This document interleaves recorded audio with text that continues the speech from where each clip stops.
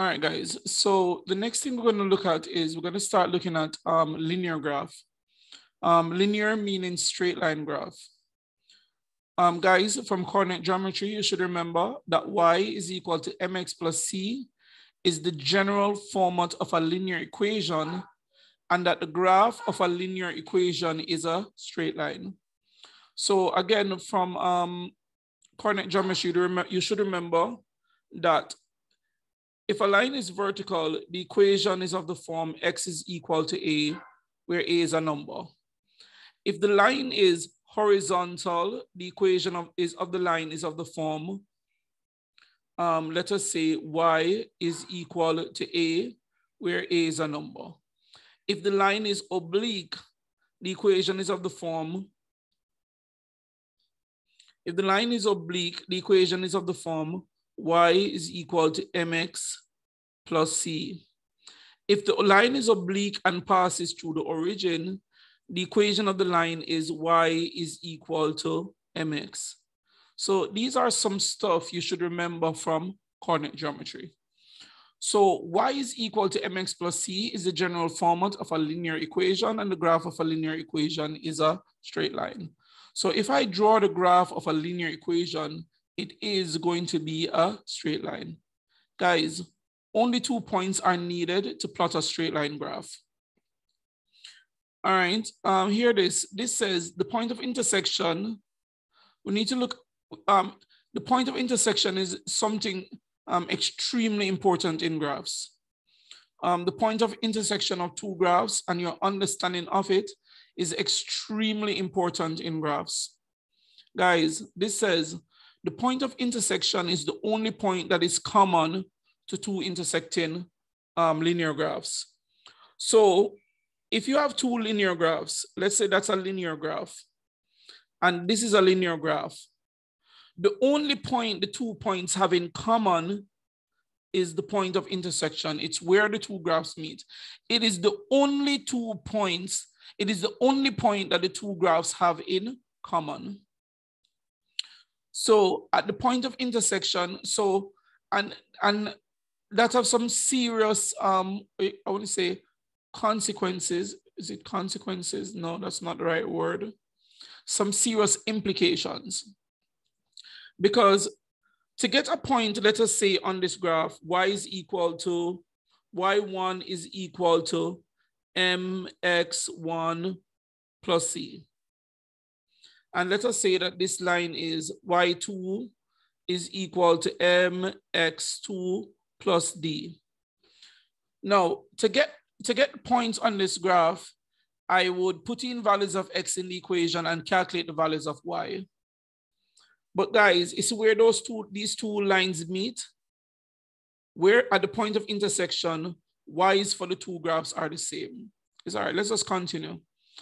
It says at the point of intersection of the graph, y is equal, y1 is equal to mx, mx1 plus c, and um, and the, straight line y is equal to nx2 plus d, the coordinates of the y the, the x and y coordinates are this are the same. This should be the same. The x and y coordinates are the same. Um, therefore, y1 is equal to y2.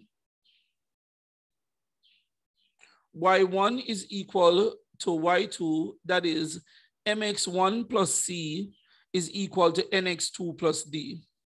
All right, guys, I don't want to tell on the shoot. I don't want to get into all of this. I don't want to. I'd rather spend the time, but even though I don't want to, let's just do this one video on it.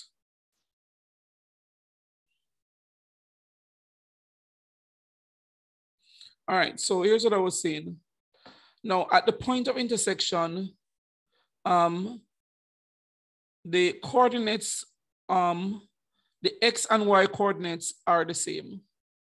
So um, it means therefore, let us, it means therefore that for the two graphs, Y1 is equal to MX1 plus C and Y2 is equal to N x2 plus d at the point of intersection at point of intersection, the two y's are equal. So y1 is equal to y2. This occurs at the point of intersection. It means, therefore, that the coordinates at the point of intersection of that and that is the solution. The x coordinate at the point of intersection um, of the lines y1 is equal to mx1 plus c and y2 is equal to nx2 plus d is the solution of the equation mx1 plus c is equal to nx2 plus d. That is something that you guys can look into and think about. Um, you're going to see significant applications of it as we move forward. The third thing that occurs at the point of intersection, now at the point of intersection of two graphs, um, of the of the point, sorry, the x and y coordinates at the point of intersection of these two graphs are the solution of the simultaneous equation mx1 minus y1 is equal to minus 2. Um, nx2 minus y2 is equal to minus d. That again is something that you can look at. So what we get in from this, even though you might not fully understand, is that the point of intersection can be used to solve a graph. And to solve, sorry, the point of intersection of two graphs can be used to solve an equation. And the point of intersection of two graphs can be used to determine, sorry, to solve simultaneous equation. And I'm going to show you just how this works, um, just how this work um, in the next um, couple of examples.